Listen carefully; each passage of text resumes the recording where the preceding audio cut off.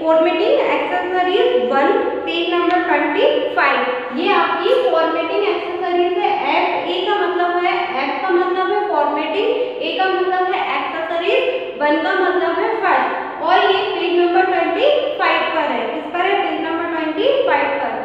पहला है आपका multiple choice question take the correct option आपको राइट आंसर पर क्लिक करना है. प्लांट्स आर जो प्लांट्स होते हैं, वो कहलाते हैं। तो आंसर क्या होगा? प्रोडक्ट यानी प्रोड्यूसर तो प्लांट्स और मतलब क्या है? जो प्लांट्स होते हैं वो किसके बनते हैं प्रोड्यूसर के द्वारा प्रोड्यूसर यानी कि एक मतलब मिट्टी मिट्टी के अंदर खाद डालो खाद में फिर बीज डालो बीज में पानी डालो पानी डालने के बाद में उसमें अन्य जो खाद होते हैं खाद पदार्थ डालो उसके बाद में क्या होता है पौधा विकसित हो जाता है निर्माण करने लगता है तो ये पूरा काम कौन करता है करता है, कोई प्रोड्यूसर करता है, जिससे प्लांट बड़ा हो जाता है। तो ये किसकी सहायता होता है? प्रदूषण की सहायता से। तो आंसर क्या होगा प्रोड्यूसर अगर आपके पास बुक है तो आप टिक कर लो अगर नहीं है तो आप समझ लो how many wildlife sanctuaries are there India जो हमारी सेंचुरीज है यानी जानवरों की कुल संख्या कितनी है जंगलों में तो एक सौ पचास के समथिंग थर्ड है आपका which one of the following is a soft rock जो सबसे ज़्यादा सॉफ्ट होता है क्या होता है सबसे ज़्यादा सॉफ्ट सबसे ज़्यादा सॉफ्ट हमारा क्या होता है क्ले यानी कि मिट्टी जो कि सबसे ज़्यादा सॉफ्ट होती है आप उसको फील करेंगे तो वो आप देखना उसको पानी डालने के बाद जब आप उसको फील करेंगे तो कितनी ज़्यादा सॉफ्ट हो जाएगी और मुलायम रहती है the intense of distribute earthquake is तो मोर देन फाइव क्या है इसका more than five more than five fifth the mixing height of टिशुलन was पंद्रह मीटर क्या है पंद्रह मीटर जो आपकी रीड की मतलब जो आपकी हाइट है मैक्सिमम आपकी हाइट होनी चाहिए वो अब आता है आपका bright one one use of is the following अब इसको क्या है?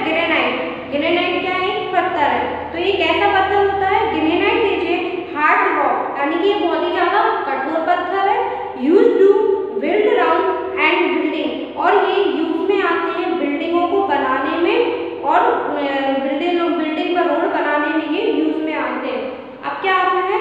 Sandstone sandstone ग्राफ्सिम and limestone are sedimentary rocks ये जो सैंड स्टोन होते हैं ये सेंडिमेंटली रॉक्स होते हैं जो ज़्यादातर घरों में आपने देखा होगा स्टैंड वगैरह पे लगाने के काम में आते हैं अब आता है marble marble is formed in this way soft tell rocks like interest on cat सुक्रिश एंड हेड फॉरएवर यानी कि मार्बल जो होते हैं, वो बहुत ही ज़्यादा वाइट होते हैं सॉफ्ट भी होते हैं मुलायम टाइप होते हैं और ये वाइट कलर में होते हैं। और ये ज़्यादातर घरों में, उद्योगों में, दुकानों में, आदि जगह पे लगाने के फर्श पर यानी ज़मीन पर नीचे लगाने के काम में आते हैं।